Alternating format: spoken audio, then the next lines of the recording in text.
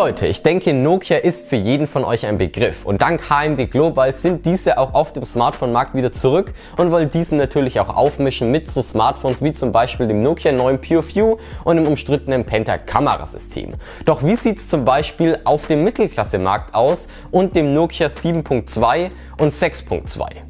Jetzt habe ich aber mal eine Frage an euch. Wem kann ich schon wieder danken, dass dieses Video bzw. dieser erste Eindruck überhaupt möglich gewesen wäre?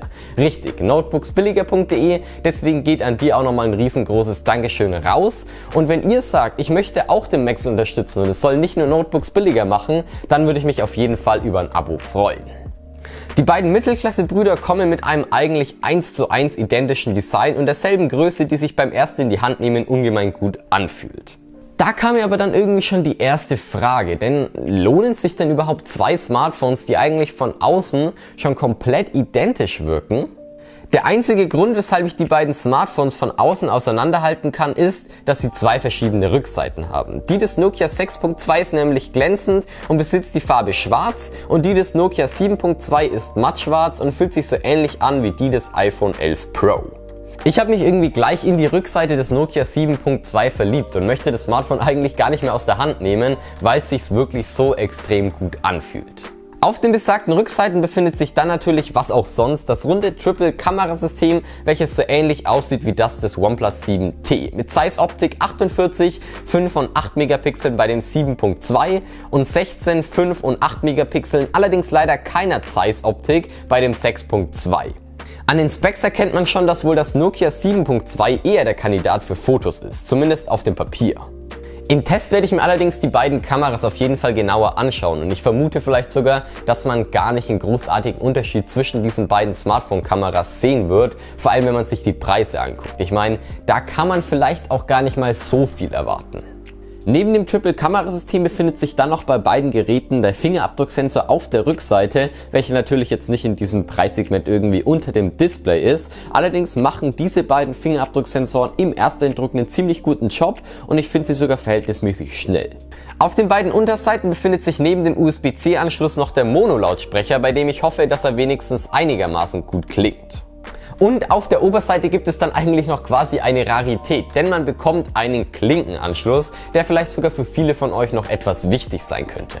Die gesamte Front ist eigentlich auch so gut wie identisch. Man bekommt nämlich bei beiden Smartphones ein IPS 6,3 Zoll Display mit für den Preis eigentlich einer ordentlichen Auflösung von Full HD Plus, also 2280 x 1080 Pixeln. Im Ersteindruck gefällt mir das Display eigentlich vor allem für diesen Preis extrem gut. Ich muss bloß sagen, dass die Front im Großen und Ganzen vielleicht nicht ganz so futuristisch wirkt, wie man es vielleicht auf irgendwelchen Renderbildern sieht oder man es vielleicht erwartet von einem Smartphone im Jahr 2019 bzw. schon fast Anfang 2020. Die Front ist leider mit Displayrändern bestückt, die nicht wirklich die schmalsten sind. Allerdings darf man in diesem Preissegment auch nicht zu viel verlangen und ich meine, man bekommt immerhin eine Waterdrop Notch, die die ganze Front dann doch etwas moderner wirken lässt.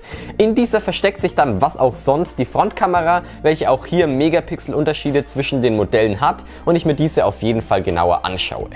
Es unterscheiden sich aber bei den beiden Smartphones nicht nur die Kameras, sondern auch die Specs. Denn bei dem stärkeren 7.2 Modell bekommt man einen Octa-Core Snapdragon 660 mit 4 GB RAM und bei dem abgespeckteren 6.2 Modell bekommt man einen Octa-Core Snapdragon 636 mit ebenfalls 4 GB RAM. Man merkt schon im Allgemeinen, dass man hier auf jeden Fall bei beiden Smartphones keine A13 Bionic Chip Leistung wie bei den neuen iPhones bekommen wird, aber ich denke dafür ist dieses Smartphone auch gar nicht ausgelegt. Die Akkukapazität der beiden Geräte liegt bei 3500 mAh. Das heißt, ein Tag sollte locker flockig möglich sein, vor allem weil es keine überarbeitete Oberfläche gibt, die das Gerät in irgendeiner Weise mehr fordern könnte. Ob der Akku auch noch für einen zweiten Tag durchhält, wage ich Stand jetzt ein bisschen zu bezweifeln, was aber allerdings auch überhaupt kein Problem wäre, da beide Geräte Fast Charging unterstützen. Ihr merkt also schon im ersten Eindruck, dass diese beiden Smartphones vor allem von außen eigentlich wie ein und dasselbe Smartphone wirken, mit nur zwei verschiedenen Namen bzw. zwei verschiedenen Zahlen im Namen, was ich noch nicht ganz so, sage ich mal, einordnen kann. Wenn man sich aber dann die Specs anschaut, hat man doch, sage ich mal, so leichte Unterschiede. Die Frage ist bloß, haben beide Smartphones die Daseinsberechtigung oder würde sich eins von den beiden Smartphones einfach lohnen, vor allem weil sie eigentlich im selben Preissegment liegen. See you!